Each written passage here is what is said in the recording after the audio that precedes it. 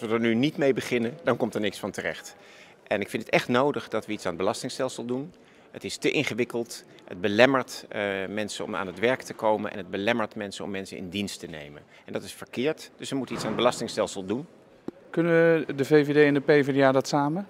Ja, want die zijn allebei namelijk erg enthousiast over vereenvoudiging, maar ook heel enthousiast over werk. Dit zijn de twee partijen. De ene heeft arbeid in zijn naam en de ander drukt uh, de werkende Nederlander altijd af op verkiezingsposters. Dit zijn de twee partijen die echt enthousiast zijn uh, voor het creëren van nieuwe banen. Meer werk, meer banen, meer mensen aan het werk.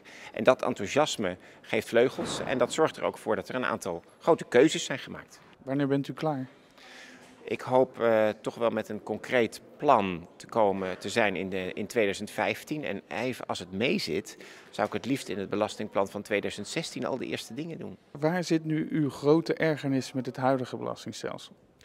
Wat ik misschien nog wel het ergst vind, nog los van al die complexe toestanden die misgaan, is dat het belastingstelsel uh, belemmert om aan het werk te gaan. Het belemmert hè, dat iemand die 11 euro netto krijgt, 20 euro uh, per uur kost. Het betekent dat een heleboel banen er niet komen.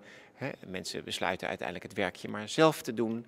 Uh, het belemmert de werkgelegenheid. En ik vind het belangrijk dat er zoveel mogelijk mensen die willen en kunnen werken ook aan het werk gaan.